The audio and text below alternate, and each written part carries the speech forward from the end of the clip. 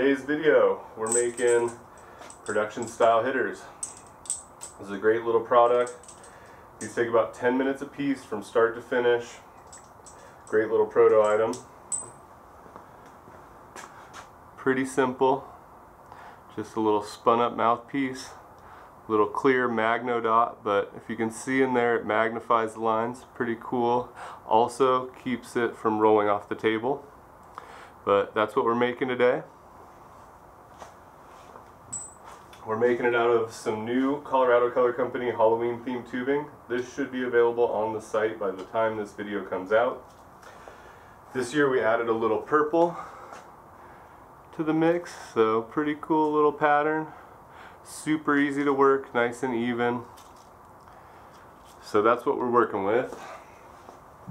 Some tools you're going to need. Bench roller and some jacks. So all these bowls are made from the tip of these jacks and they form just a nice little tapered bowl in there. So these are pretty crucial to this process and the way we do it. Another little thing here, this is a jack stand. Made a couple of these, they're floating around the shop, kind of in the R&D stage, but this is somewhere just to put your jacks when they're not in use to keep them clean. You know, they'll pick up dirt and glass on the bench. Also, like, you know, wax gets everywhere.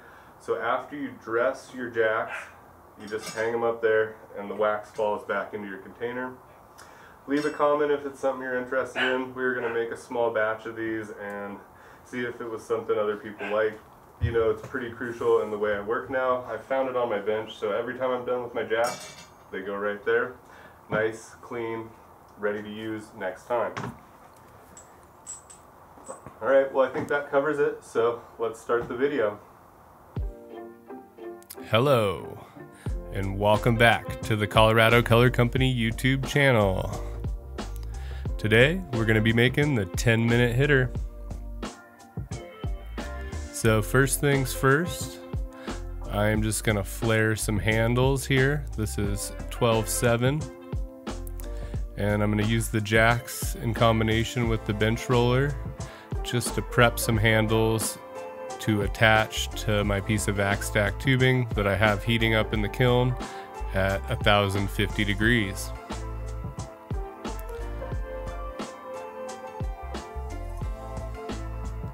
So here you can see I'm just heating the tip, sticking the jacks in there closed, and giving it some spins and flaring it right out. So here's the piece of tubing that we're working with. Like I mentioned before, it's that new Colorado Color Company Halloween pattern for 2023. This was just a little odd with a broken end that came through for testing, so I decided to make a video out of it. This pattern turned out to be super easy to work, super friendly and I think it'll be a good addition to the Halloween line we have going on. so here I'm just heating the piece of tubing just a little more than the handle. Obviously the 12-7 is thinner. That thick wall weight of the vac stack's gonna obviously take a little more heat to get flowing, but once they're both flowing, just stick them together. And here I'm just adding a little more heat into the vac stack trying to give give it a little tug, make sure that seal is good. And then we take it down to the bench roller to straighten it.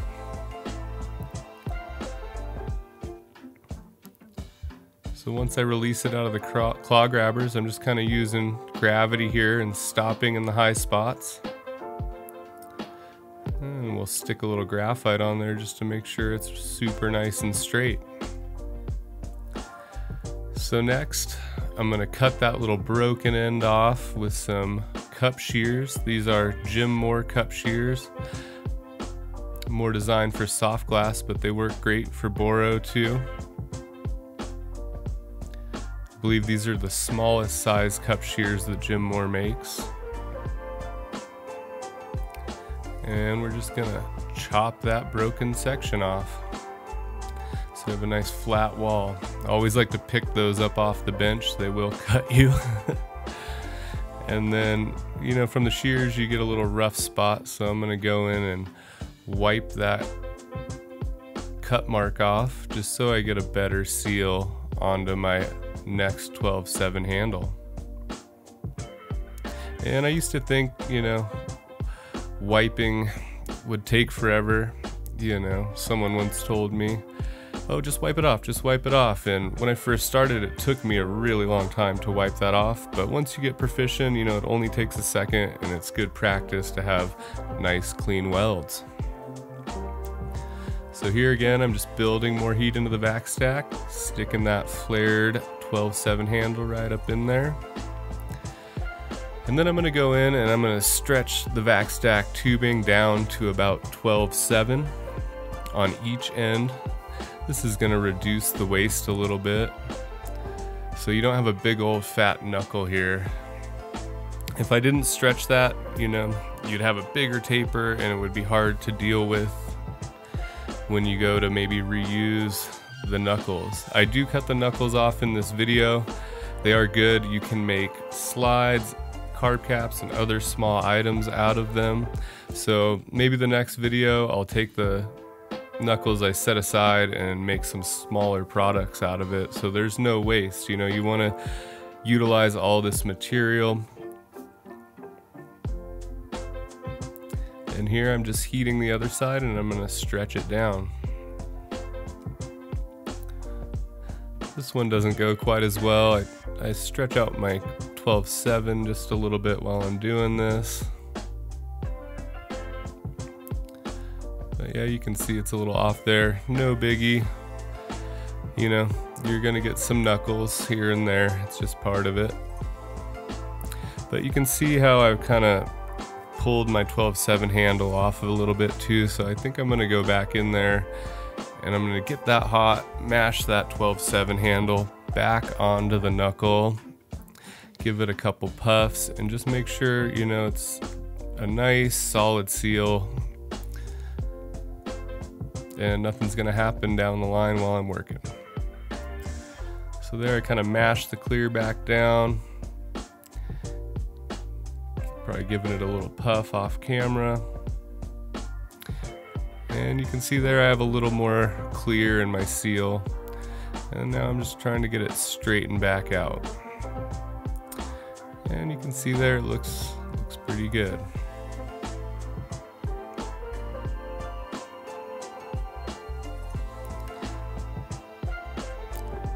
So now the stretch. So I kicked up on the foot pedal into the outer fire on the Mirage. Got it pretty ripping in a nice neutral flame. And you can see I'm kind of angling the glass there and you can see how the flame is shooting up and heating what I've already heated. And this is just a game of getting everything hot as you can without overheating it. You know, you can overheat vac stacks, especially if there's a soft portion of the pattern will get hotter than a stiffer portion and be more pliable sooner. Luckily this pattern is super even and easy to work so you know I can see I'm taking it from that orange glow right to that super hot almost yellow glow. I'm gonna jump down into the Lynx, add some heat where it's needed. And then as I start pulling this apart I can see where it needs more heat And ideally you're gonna get this hot in one shot and have one nice stretch here. I didn't quite hit it, so I'm going back and adding just a little heat where I need it. This does work better on a Herbie, I would say. The GTTs have so much thrust that it kind of pinpoints where the Herbie's so engulfing, you can go kind of rebuild in a little heat base gently, but there it is there. The stretch, pulled down. You can see I got a little knuckle, little knuckles on each side, but you know, there's about a foot of straight tubing in there, which I'm gonna break these hitters down into about three and a half sec, three and a half inch sections. So there I just pulled a little separation and I throw it in the infinity cutting wheel. And we're just gonna do a little wiggle snap here. But I'll be able to take the straight portion of this line tubing out of the middle and make three blanks for the three hitters that I make in this video. Here I'm just using an octagonal reamer to open up the hole and now I've jumped down to 9.5. These hitters are pretty delicate so I like to jump down to a smaller handle size. Here I'm just getting everything real hot. A little puff of air, round out the inside, and a little tug to stretch it. And you can see there, that'll be the mouthpiece when I go to finish the product. So you can see she's got a little wobble in it, but I'm only using the first three and a half inches of this tube, which seems to be pretty straight, so that'll do. So here I'm using my Marver. I know my Marver is three inches, so I'm using my Marver as a guide to, you know, break down about three and a half inch sections. So here I've just jumped, you know, a Marver length and a half inch over. I'm down in the needle flame that the GTT produces. And then I just pull that little hourglass shape, roll it in the infinity wheel, and wait for it to set up a little bit and then give it a little snap. Pop. There she goes. There's one blank. And then I'm just going to repeat this three times. that little hourglass shape kind of starts the taper of the mouthpiece there and gives me a hole about 9.5 to come in and just stick to. And then again, just a little puff of air to round out the inside. Take it down to the bench roller and straighten it out. And again, you can see that three and a half inches I'm gonna take is gonna be nice and straight. Again, just getting a little reference on the Marver, readjusting my torch. Oh, you can see I got a blown out candle down there that's been there for a long time. It doesn't ever bother me, but you know, you could potentially send this torch back to GTT and get that fixed. But yeah, just repeating the, the cutting tool step into the wiggle snap.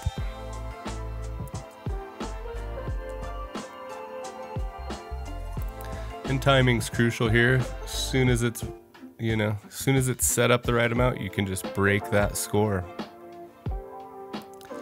And this one's got just a little taper where there was a little bitty knuckle. So I'm gonna attach to this and just draw the thicker side down to about 12.7. Just so I'm not trying to fight it later when I'm actually doing the shaping of the hitter.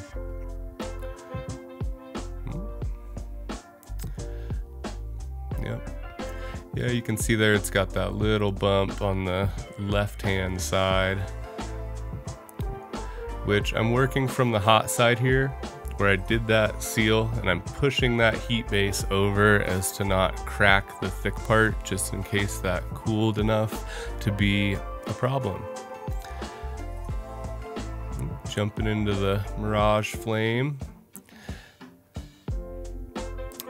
And I'm just gonna draw this little knuckle out to the diameter that I need for the product, which is about 12.7 and I can use that handle in my left hand as reference that is 12.7 and it's a little longer than I needed so I'm gonna take what I need and cut off a tiny little knuckle here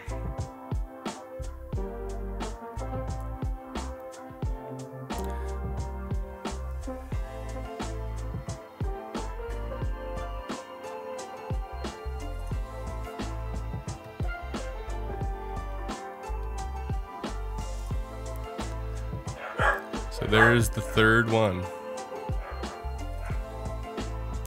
Bam, with a tiny little knuckle. That piece would make a great little martini slide or something. Always save that stuff so you can use it later. And here are the three blanks for this video.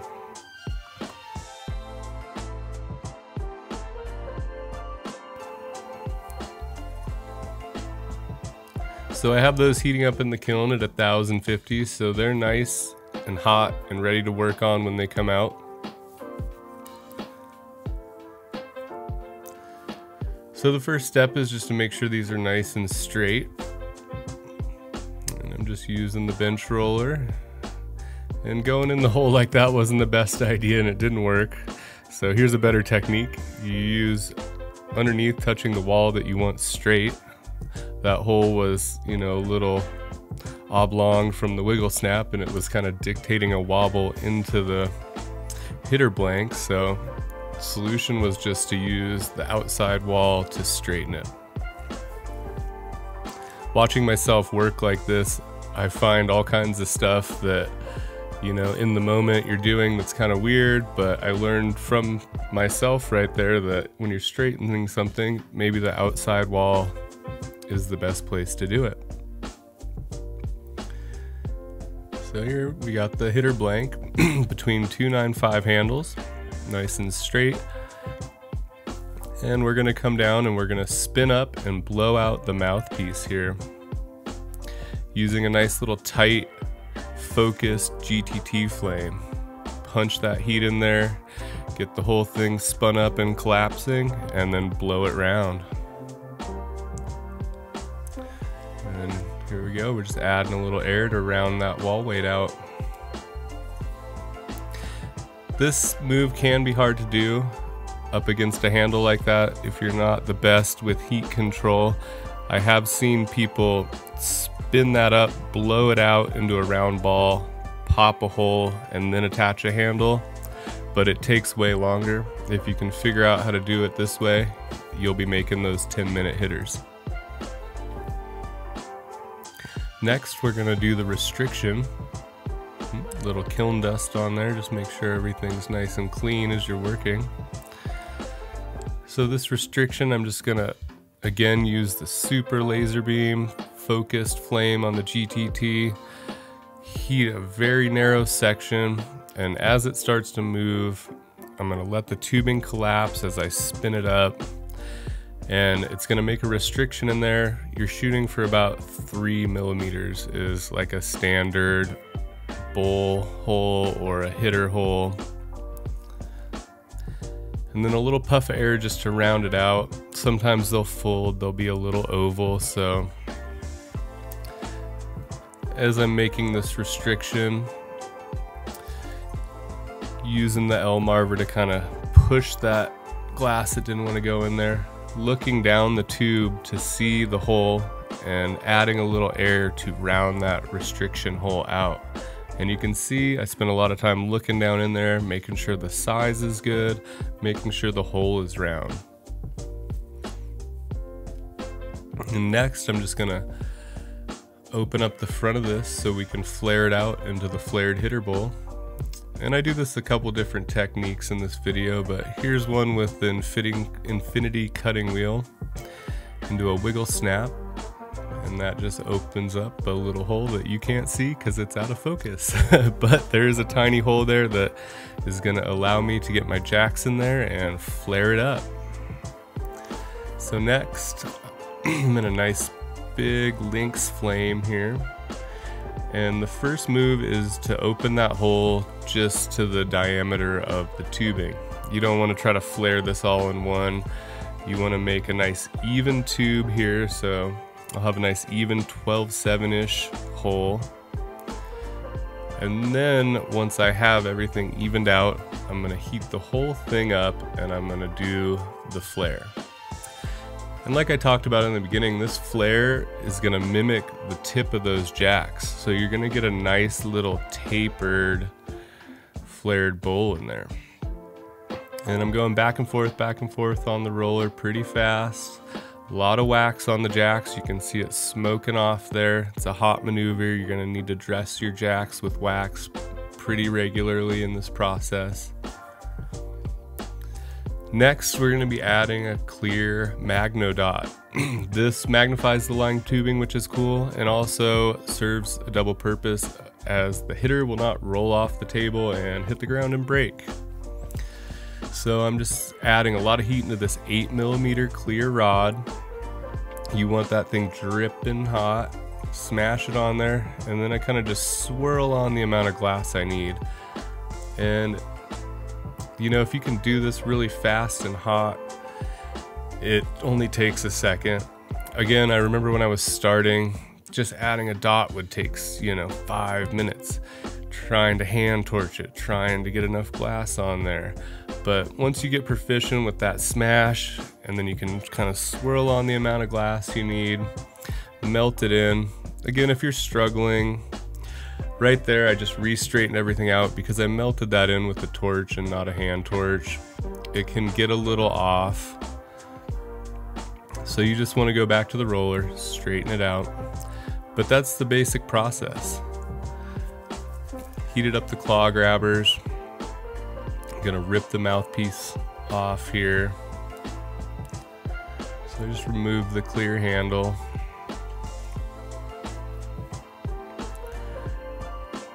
And then I'm just gonna pick this hole open with a little six mil rod here. And I'm just wiping off that clear right back to the color. You can see there I stretched it out a little bit, making it thin, stretch it out.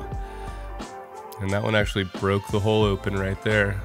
the idea is to only get the glass you want to remove hot and stretch it so thin that it breaks open without making a mess. And there you can see we have the first finished hitter. I'm to take that, pop it in the kiln.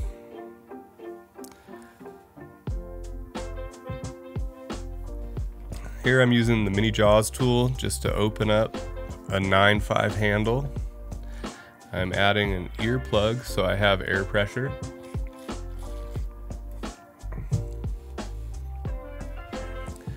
Getting all the kiln dust off there. That's just a bunch of old printer paper stapled and taped together. Okay, you can see this one's a little off and it was off in the handle that was already on there. So I'm gonna heat that up and I'm gonna straighten that out first. And then that handle in my left hand is gonna follow. So you can see how I kind of heated it up both ends there to get that one straight. But now we have a nice straight section. That straight section is gonna dictate into your bowl. That's why we use the roller on this process. Everything's got to be super straight to go in and use the jacks to make the bowl. But if everything goes right, it gives you a really nice V-shaped bowl that burns flower nice and evenly down to the hole.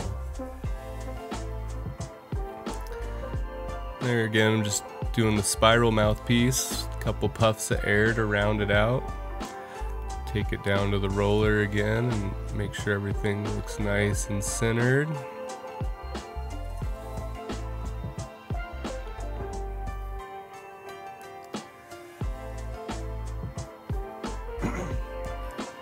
and then on to the restriction.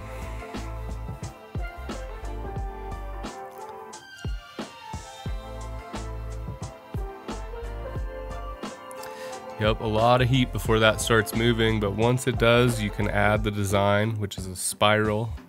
And I usually go about one full rotation so the pattern comes all the way around and matches back up. But however you want to do it, they look cool. You know, it's a simple production product. There, I'm just using the Marver to kind of push that gather down into a restriction.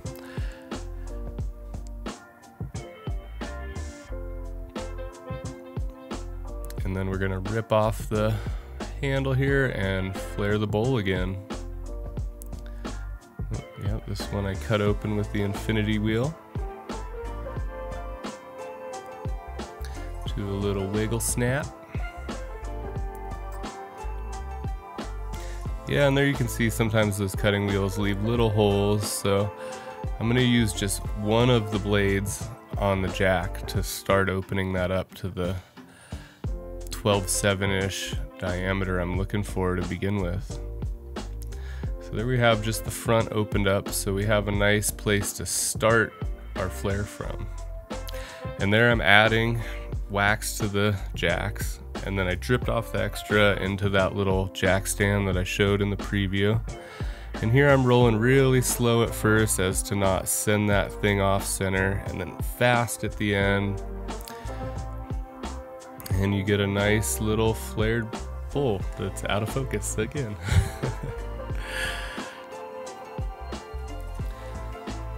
and then back to the Magnodot.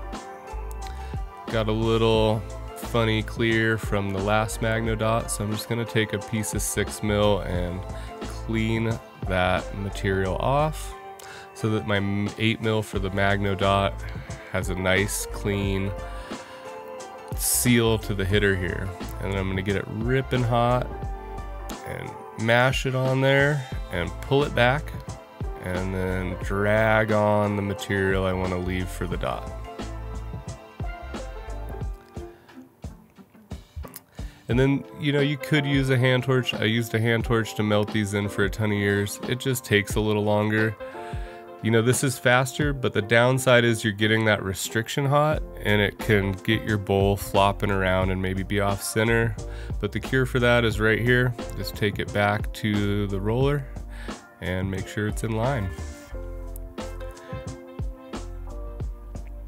So there we have the dot added, everything's centered out You can see the hole in there is nice and round.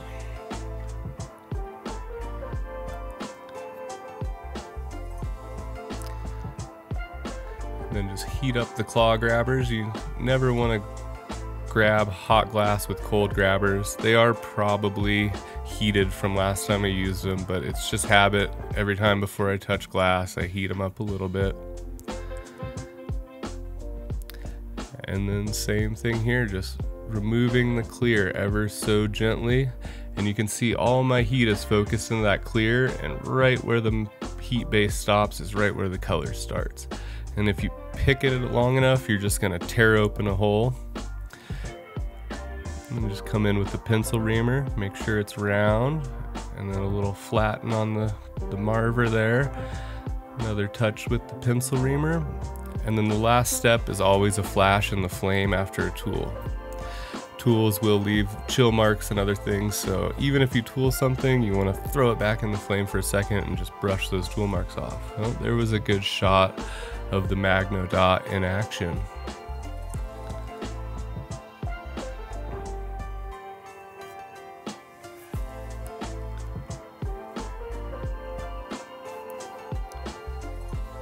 You know, each one of these blanks is right around an ounce of tubing. So that's a good way to base your product's value off. So you know you have, you know, about five bucks. I think they're usually about 0.8 of an ounce. So it's about $5 in material and these hitters at full price.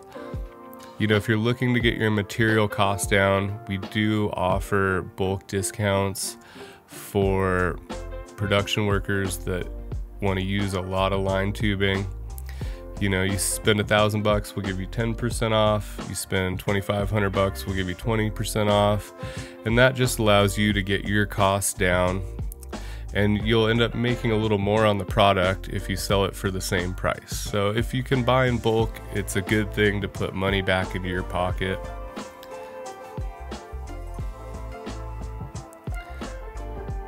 in here you know i think i've used this same flame for all of these spiral mouthpieces.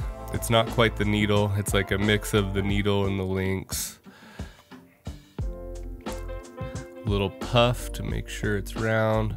That flame is really laser focused and allows you to build in that heat base right where you want it, not into the handle and not not up the body of the hitter. So that's why I'm using that that flame particularly there is it has a lot of thrust and it's very focused and it allows you to control where you're putting the heat very well.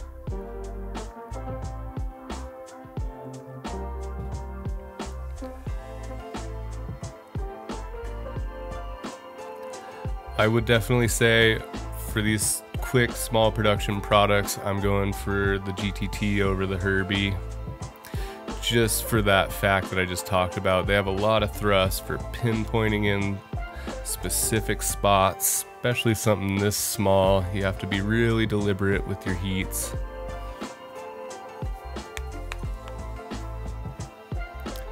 looking down and make sure that hole is round. Checking the outside wall, marvering anything flat, puff of air that rounds out that hole. Again, you're shooting for about three mil in there for the hole size.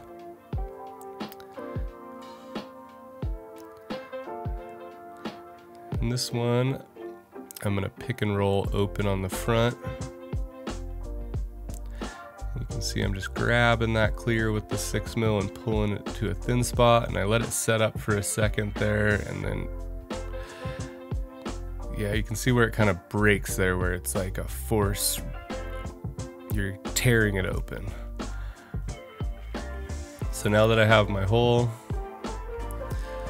pretty small hole, so I'm gonna blow a little air through it, try to open it up just a touch, and then I'm gonna take one blade from the jack, and you can see there I stuck it in and just spun it open. And then I'm, yeah, again, I'm trying to take this to the 12-7 wall before I flare it out. So now that I have a nice open hole, needed a little love in the marver. So yeah, I'm getting it to that 12-7 tubular shape that I like before a flare. And then from right there, we can stick it in the roller and we can just use those jacks. You can see it from the angle here, how that the jacks are forming the shape of that bowl. Oh, yep, a little off on my shows this video. Everything's out of focus, but you get the point.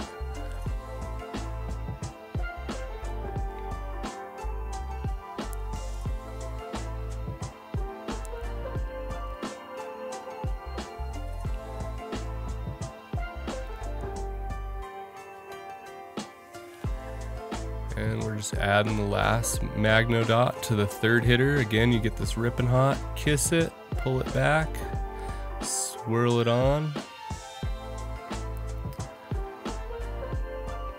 And then, you know, the idea here is to focus most of your heat into the top of that without getting the hitter and the restriction too hot because that will start flopping around. But like I said before, if you need to straighten it out, just drop it in the roller. Just like this. So now we have a laser straight line work hitter. Again, preheating the metal tool just a bit, you know. And here, before you grab it, you gotta let it cool down. If you come in with that claw grabber while it's hot, it'll leave little dents. So timing is key there.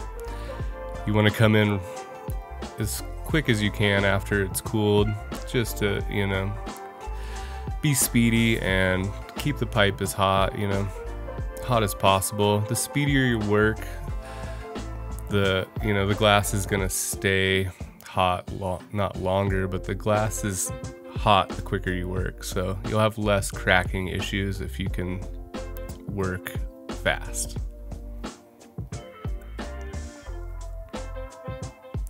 there, just tore open that hole.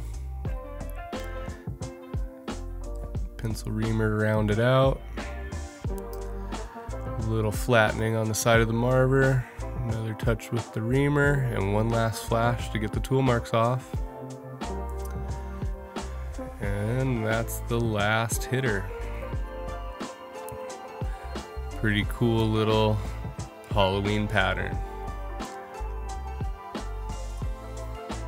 If you got any names for this pattern, go ahead and drop them in the comments. We, you know, still a fresh pattern and we don't have a name for it.